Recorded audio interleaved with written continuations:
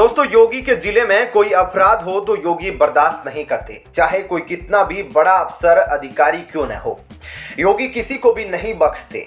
एक सीओ अधिकारी रिश्वत लेते पकड़ा गया। योगी ने गुस्से से आग बुबुला होते हुए उस अधिकारी को अफसर से सिपाही बना दिया। तो दोस्तों, क्या है पूरा मामला? मैं आपको विस्तार से बताता हूँ। दोस्तों, आपको बता दूँ कि योगी जी का रामपुर के सीओ पर सख्त एक्शन हुआ है। उत्तर प्रदेश की सीएम अपने सख्त तेवर की वजह से जाने जाते हैं। अफसर पर योगी की गाजगिरी तो रोने लग गया है। सीएम योगी कभी कभी ऐसे एक्शन लेते हैं, जो कि विशेष रूप से चर्चा का विषय बन जाते हैं। योगी के इस एक्शन को देखकर सारे पुलिस कर्मचारी काँप उठे हैं।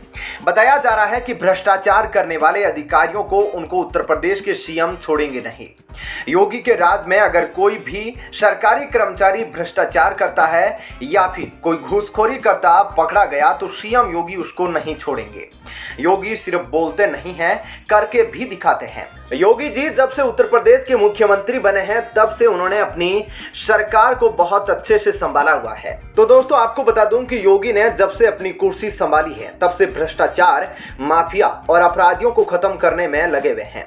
योगी ने अपने मन में पक्का कर लिया है कि देश में होने वाले भ्रष्टाचार, माफिया और घूसखोरी को जड़ से खत्म करेंगे।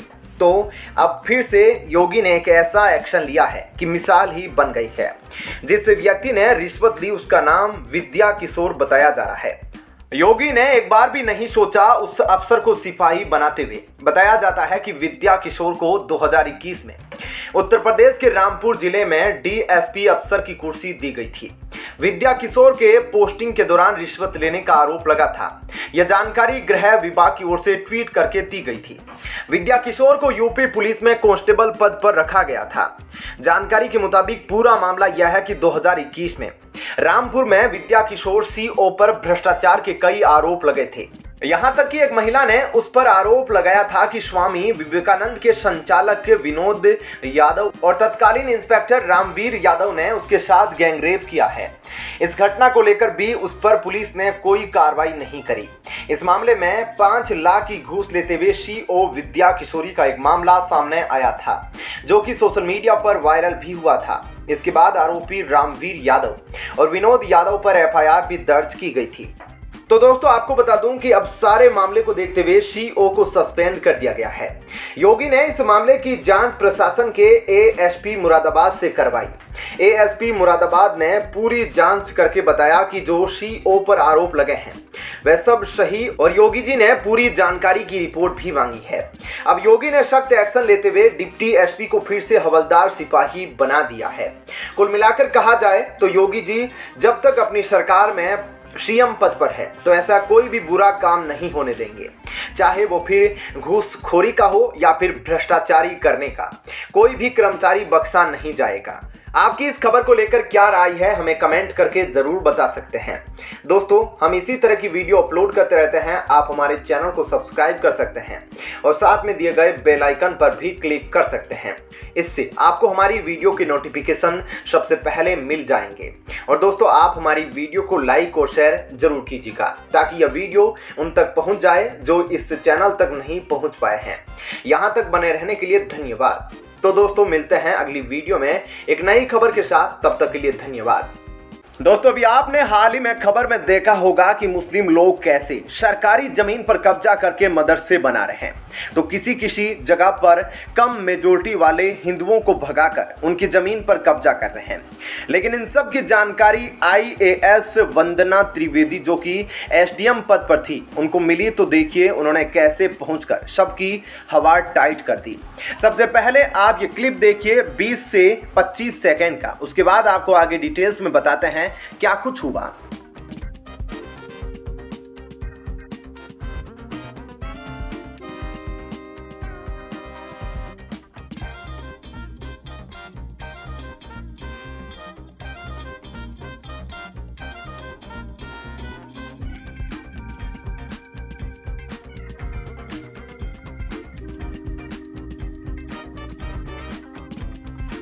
तो आप यहाँ पर साफ़ साफ़ देख रहे हैं दोस्तों की कैसे वंदना त्रिवेदी ने उस मुस्लिम गढ़ में पहुंचकर डंडा सब अपने हाथ में लिया हुआ है और माइक में अनाउंसमेंट के साथ बुलडोजर चलवा रही है।